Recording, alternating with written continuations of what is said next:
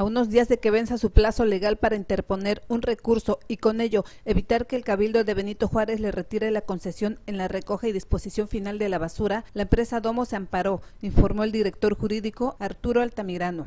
Por lo que hace a Domos, este, esta dirección a mi cargo todavía no es legalmente notificada de que Domos haya interpuesto este, el juicio de amparo.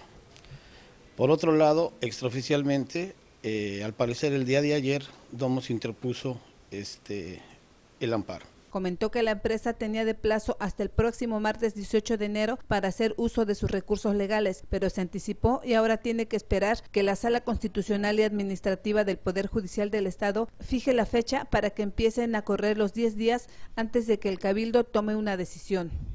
Sí, definitivamente este, el municipio tiene que cumplir con la sentencia de la sala. Cuando la sentencia, cuando eh, la sala constitucional nos dé el término de 10 días para cumplir con la sentencia.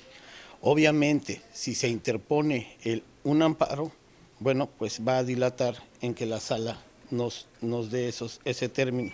El director jurídico sostuvo que el gobierno municipal tiene que esperar una orden judicial para proceder. Con imágenes de Jonathan Díaz para Notivisión, Patricia Vázquez.